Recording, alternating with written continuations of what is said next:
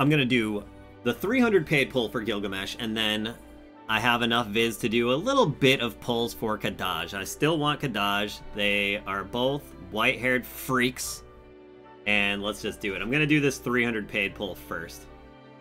But otherwise, I'm skipping Gilgamesh, and we're just gonna hope to get him in the future. We Brown book on the 300, so it's not looking too promising. We're gonna hope to get him in the future, uh, you know, just on some like random tickets or whatever the case may be. Ouch. Literally, all I can say right now is ouch.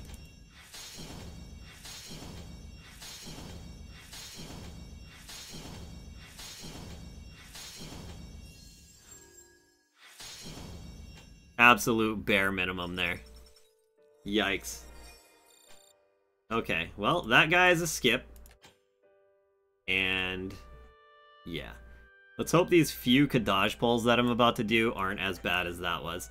Now, I have gone into this step up a little bit. I'm on step four currently, so this is going to give me Mind Spheres. I have enough to do three pulls, and after I actually do these three pulls, if I don't get Kadaj, I'm not going to even finish the last two pulls probably.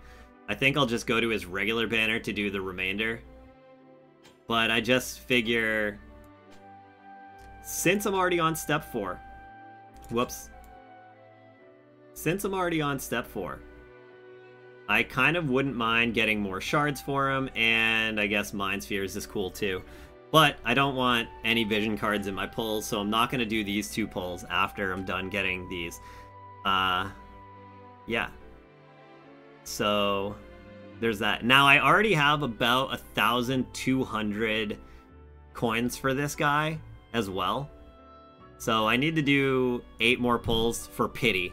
I don't have enough viz to do pity right now, but I hope it doesn't come down to that, but it probably will. Because I got so lucky on Sephiroth that, you know. I don't think there's a guaranteed anything in this pull. Oh, there's shards, I guess.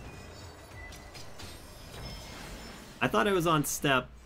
Oh, Mind Spheres. This is one of the Mind Sphere pulls. Alright, so this is a skip, because there's no units in here.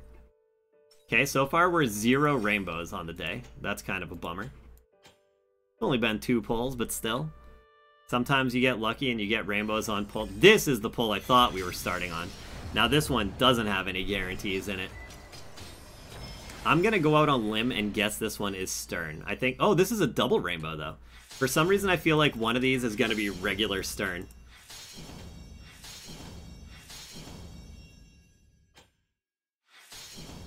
Ah, oh, Varouche.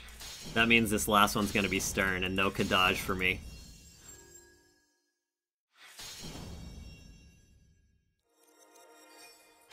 So bad.